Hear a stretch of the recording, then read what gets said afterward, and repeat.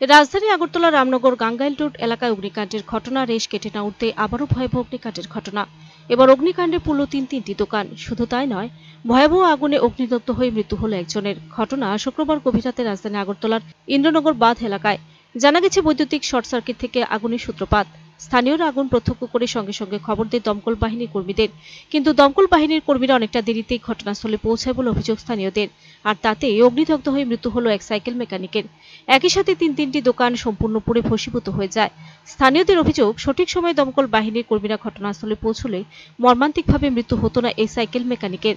এছাড়া বড় ধরনের ক্ষয়ক্ষতির হাত থেকেও রক্ষা পেত দোকানগুলি।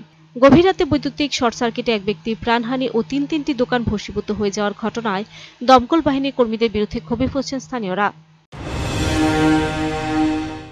একজন বয়স্ক লোক তাকে সাইকেল মেকারি কাজ করে, তাকে এখানেই ঘুমা আমি আয়া শুধু চিল্লি উঠছি বাড়ির থেকে দেখছি, দাও দাও করে আগুন চলতেছে আয়াতেরা কারেন্ট অফিস ফোন করছি এ, থানাতে ফোন করছি ফায়ার সার্ভিস ফোন করছি এক ঘণ্টা পরে আইছে।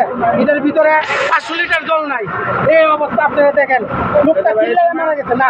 লোকটা কীভাবে বাড়ি করুন লোকটা চিল্লাইয়া লোকটা মারা গেছে। আমরা চোখের সামনে যাওয়ার মতন কোনো কিছু নাই আমাদের কাছে। এই যে অবস্থা। দেখেন এক ঘণ্টা পরে আইছে ফোন করার পরে এক ঘণ্টা পরে। এরপরে পাঁচশো লিটার জল নাই গাড়িতে। জল তো নাই একদম একদম। এদিকে শনিবার দুপুরে আগুনে ক্ষতিগ্রস্ত হওয়া পরিবারের পাশে দাঁড়াল ছয় আগরতলা মণ্ডল ও রাজ্য সরকার।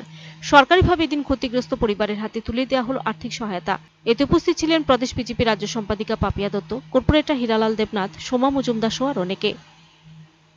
Video report search India TNN.